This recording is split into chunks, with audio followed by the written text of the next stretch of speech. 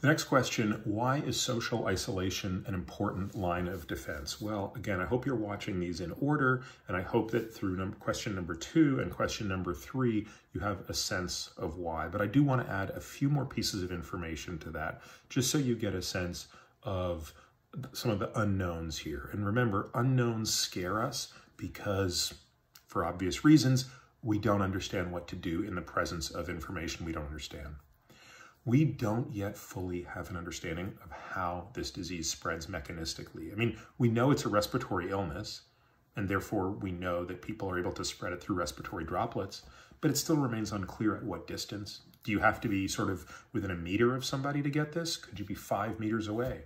Another thing we don't know is how long does this virus survive outside the body? The virus that caused SARS, though that was not an overly um, aggressive virus in terms of its rate of spread. It was an aggressive virus in terms of lethality. Um, it could survive outside the body for days. And right now, the people we've spoken with said, truthfully, we don't know how long it survives outside the body, but from the standpoint of an assumption, we should assume it is days. And again, that is disconcerting. That means that you don't just have to come in contact with someone who is hacking, spitting, coughing, sick all over you. In theory, if that person was sitting at the coffee stand that you go to two minutes earlier, you may still be able to come in contact with virus that is there and you know you touch yourself inadvertently and all of a sudden you're infected. Um, the other thing that kind of concerns me and why I think social isolation is a little bit important is you want to minimize the contact with people who might present with a virus or might present with symptoms that are not typical. So we spoke with um, an epidemiologist yesterday who was telling us about cases in China where a whole host of patients were on a surgical floor being treated and evaluated for gastrointestinal symptoms that looked like they were surgical, appendicitis, you know, uh, inf inflammation of the colon, that sort of thing.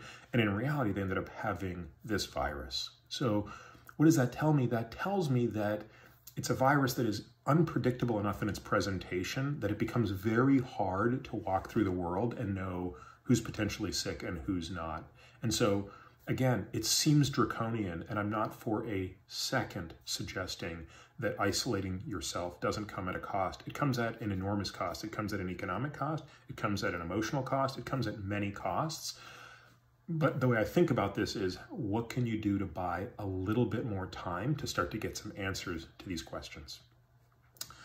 So the next question is Are there any reasons to self quarantine? And, you know, the way we sort of talked about this with our patients in the update we sent out yesterday was as follows Start by asking two questions. Question one Are you at risk? Or do you live with somebody at risk?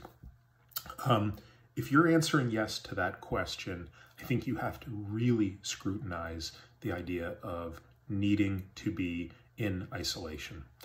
The second question is, are you in an area where outbreaks are being reported? So again, there are fortunately many places in the United States where there are still no outbreaks, and I think it's reasonable to assume that one can probably take a little bit more liberty there, although given the long period of time that this virus can sit inside of an individual without causing symptoms, and I'm going to allude to what those symptoms are in the next question, um, you realize that nobody is fully safe.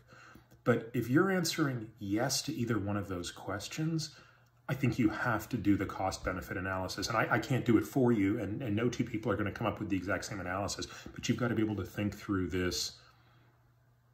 What do I want to do to minimize my chances of getting this versus what's the game of Russian roulette I want to play? If I get it, I'm going to beat it. There's one thing that remains unambiguously clear. If you are symptomatic, the first thing you want to do is self-isolate. Why? Well, first of all, we do not yet, at, least as of the minute I'm recording this, we do not have sufficient number of tests in the United States to do what was being done in China by the time China was able to get this under control, which is test and within four hours know if someone who was positive or negative. As of this minute, there are 75,000 tests made available by the CDC. It is unclear exactly how those are being dispersed, but I think it's safe to say that if I had a fever and a cough right now, the probability I would be able to get a test in the next few hours is very low, and therefore the single most important thing would be to self-isolate so that I do not contribute to the risk of illness of anybody else. At some point, that flips the moment you have difficulty breathing, you must seek medical attention.